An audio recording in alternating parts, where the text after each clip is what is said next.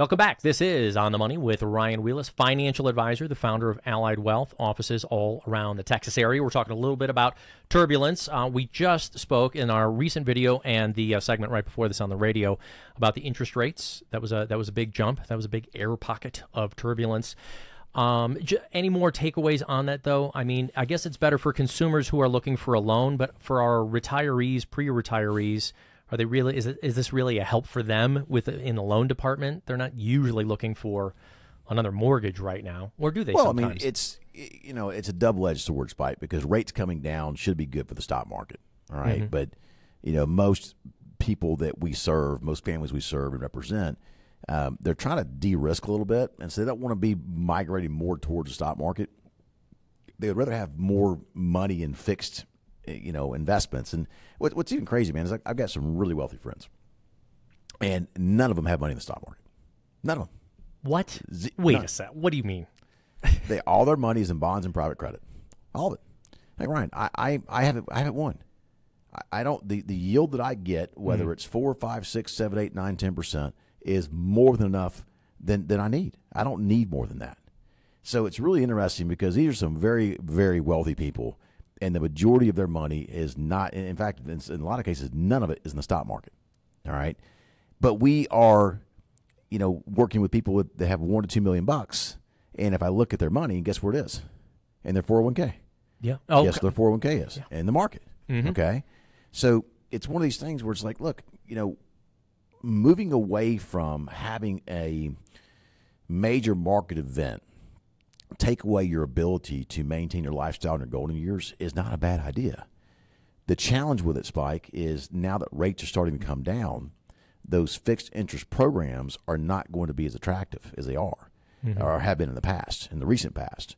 And so we've been beating this drum, you and I both, for quite Yeah. a while, folks. Yeah. It's never been It's- a better time to at least happening. investigate these fixed interest products, these these payout products, whatever they are, that can provide you guaranteed income for life at the highest level we've seen in a long, long time. And there's a strong chance with us being as, as a nation and the level of debt that we are that we don't see these interest rates again for a long, long I- time. So well, well, that that as well. You, the perspective on your career, if you don't mind, is this? I mean, because I know we have to worry about compliance, but is this one of the best windows you've seen for these interest rates and these products in your career? Is it at least one of the by a mile? Wow. by mile for sure. It- yeah, it's it's mind boggling, Spike. The um, the the space has really kind of start, said, wait a minute, we we see an opportunity here to really help people lock in some high payout rates for dollars invested and have guaranteed income for life. And you're saying I- this is what your high net worth friends do on their own. It's like, look, Oh, we won well, the game. Why do they- we need to keep it They're exposed more to the into- markets? They're they're more into into bond portfolios and private credit, but they've been moving out of lower yield products into higher yield bonds, and Mm-hmm. they've been moving more money into private credit. And folks, private credit used to be this thing that you couldn't get into, but now you can. The everyday investor out there that I'm talking to right now, that's driving down this, the, in the road in their car, hearing what I'm saying, Mm-hmm. you can actually access private credit funds. We've got private credit funds that are very stable, that produce anywhere from a six, eight, in some cases, ten percent distribution a year. But private credit is uniquely different than the bond market, is uniquely different than the stock market, is uniquely different than the than the annuity market. But so many people don't even know about it. Yet it's one of the best kept secrets the wealthy use to maintain their uh, their wealth and produce a good yield on that wealth to maintain their lifestyle. We, we've talked we've talked before about how working with a financial advisor can increase your return sometimes just by two or three percent. But two or three percent over a thirty year investment timeline is an incredible amount of growth. It- we've so folks, you can look online yourself or when you're done driving, uh, go home on the internet. It's almost a million to two million dollars worth of difference on five hundred thousand dollars over a thirty year period. Just that two or three percent having access to things like this. Well, it's also a, a difference of income over that time period. It's a lot more income in your pocket versus less income in your pocket, right? Just because of fees. Um, but Spike, you know, when you when you look at this stuff, you really have to think about. All right, I've got this money. I've got this nest egg that I've got. I have a finite amount of resources, and I've got to use these resources to last me and my spouse my, my retirement, right? And you have to understand, folks, there are things you just don't know.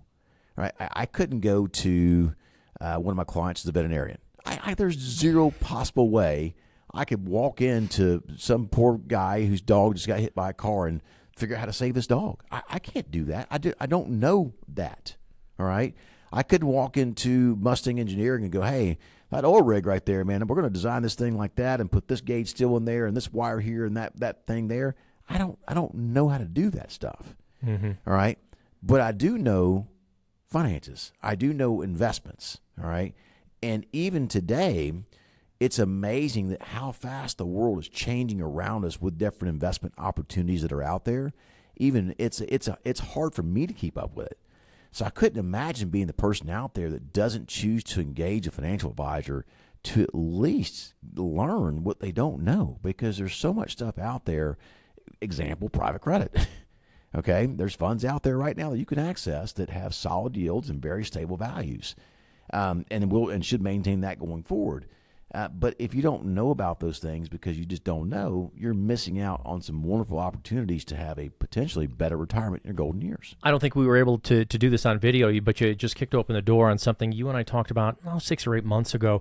You were talking about the ramp up to nearly a million managed investments that right now there's somewhere around 600,000 and there's new things that come out. I mean, I'm not saying this as a suggestion for our listeners, but now there's the Bitcoin ETFs that are really based Ethereum's about to launch. Ethereum's yeah. about to launch and there's just pretty soon, I think within a 2 or 3 year period depending on how they get through on regulations, a million different managed investments to choose from. How is the retail investor and when I say retail, that means our listeners out there who aren't financial advisors, how are they supposed to choose?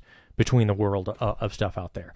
Spike, it's a it's it's a daunting task, and so you know a, a, lot of folks go, well, well, forget it. I'll just buy index funds. Hey, hey that's okay. great. Good good for you. Okay, that that's that that can be a good move. But what you don't understand, and I'm not beating index funds up here, is that so goes the market, so goes your index fund. So goes the quality of life mm. you live in your golden years. So if you start out with a million bucks, okay, and you're clipping a 5% coupon off your million bucks, that's 50,000 bucks a year plus maybe 40,000 a year from social security, you're at 90 grand. Not a bad not a bad number, okay? Not a bad number at all. But all of a sudden, your index funds go with the market down 40%. Well, not only did your income drop 40%, but your base to produce your income dropped 40%. All right. So now you're in a situation where, wait a minute, retirement felt pretty good when I had my million. Now I've got 600 grand because I lost 40% of it. My income is also down 40%. Retirement doesn't feel so good anymore. All right. Yeah. So, yeah. you know, that let's put that to rest. And I'm not saying don't have some money out there in index funds, folks, but w- retirement is all about this. It's about mitigating downside risk and not sacrificing your loss, your lifestyle. So it never makes sense to risk something that you already that you've already got, you've already got taken care of, okay, for something you don't need. That's a gonna, Warren Buffett line, folks. I'm going to throw you a curveball here because we, right. we, we always do our pre-show notes, folks, and uh, and then with Ryan, I just love getting off the page because you just brought up income, and I, I made a mistake a couple of days ago. I, I looked up on my laptop uh, income producing funds, and all of a sudden, everything I'm getting in my phone, everything I'm getting in my laptop, everything I'm getting in my social media is about income producing kinds of funds. And you started out the conversation by talking about income producing are there income producing funds and stocks? Is there a way where we do this? My, my question is between doing it with structured notes and or annuities or insurance products or funds that produce dividends for income, do you have a preference or are, are you really a blend at Allied Wealth? We are a blend, Spike. Um, the, the, the main thing that we want to accomplish is to make sure that your food, water, shelter, clothing, access to health care, transportation, medicine, roof over your head, I think I said that, utilities, um, all of those needs are met from a guaranteed source so that no matter what happens, you have those basic needs met in your golden years. Mm-hmm. That's number one. That is the foundational thing right there. Now, once we've got that foundation built, we know we've got that game won. Then let's go to the next level. Because, hey, you didn't work 30 or 40 years doing whatever you did not to have some fun in your golden years. So let's start building into that plan some ways to finance what you want to do in the rest of your life. Is it travel? Is it volunteering? Is it uh, spending more time with the church? Mm-hmm. You know, is it starting a new business? Is it learning how to fly? And there's all kind of stuff yeah. I see people wanting to do. Right. Yeah. So what are those things? And let's figure out a way to finance them. Okay. So maybe Spike, there's some dividend paying stocks in that mix. Maybe there's some private credit funds. Um, and then let's not pigeonhole all the money into things that don't sound fun. Let's take some money out there, the next layer up, if you will, and let's buy some speculative stuff. If you want to buy a little Bitcoin ETF, let's go for it. You want to buy into the uh, AI uh, stock hype, let's go for it. But let's not put so much of that of your money out there in that level of risk, so to speak, to where if it doesn't work out to your benefit, that now you're having to change your lifestyle in your golden years because you made a mistake. Ryan, we're going to have uh, news and announcements here, bottom of the hour. Uh, the uh, runway's close in the window here. Take us take us to a landing real quick, if you don't mind. Folks, listen. Call us 844-944-7555 844-944-7555. I'm throwing out all kind of jargon at you, all kind of buzzwords, that sort of thing.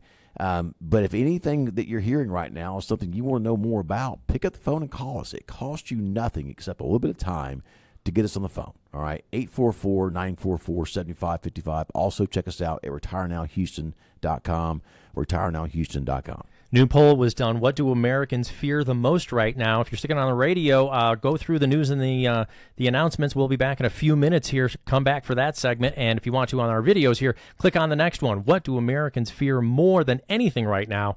When we get back with Ryan Wheelis, financial advisor of On the Money and Allied Wealth, right after this.